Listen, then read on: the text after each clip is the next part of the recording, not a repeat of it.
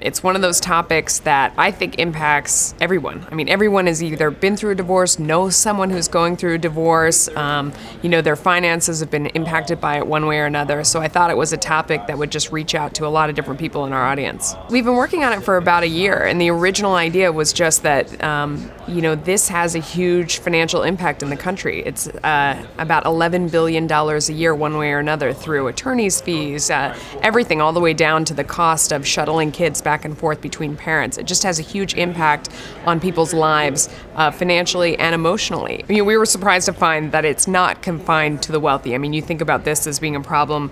Um, people with tremendous wealth are really fighting over every dollar, but um, you know, recent study found that divorce reduces people's wealth by 75%. By definition, that means you're not cutting it in half. There are so many leaks along the way as you pay attorneys and lawyers and, um, you know, accountants and, um, you know, investigators that it really is very costly and it makes sense to, unfortunately, plan for this early on we were really surprised by a lot of the things that we found along the way. I mean, one of the things that I think is most interesting about this show is exploring the question of how do people who sat across the breakfast table from each other, who worked as partners, who raised children, who worked in businesses together, how do they all of a sudden become the most bitter enemies, um, where they're grasping for every dollar and really fighting to the death?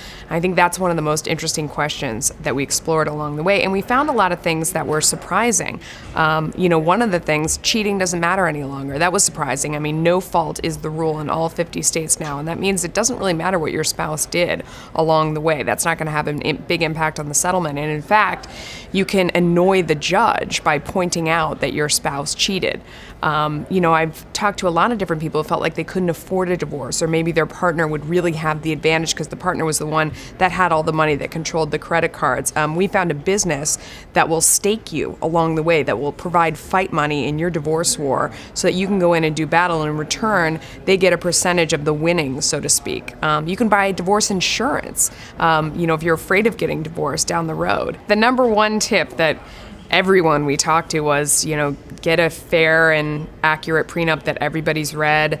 Um, you know, it makes things a lot more straightforward. I mean, unfortunately, one thing that we learned was that you should be planning for this at the time that you're getting married. You don't know what's going to happen, you don't know when things are going to go wrong, but it certainly makes a lot more sense when people are still friends and still have the best intentions to try and make a plan for the future because when it gets emotional and ugly, that's the hardest time to divide up the assets, and, and that's when it looks like things get really tough.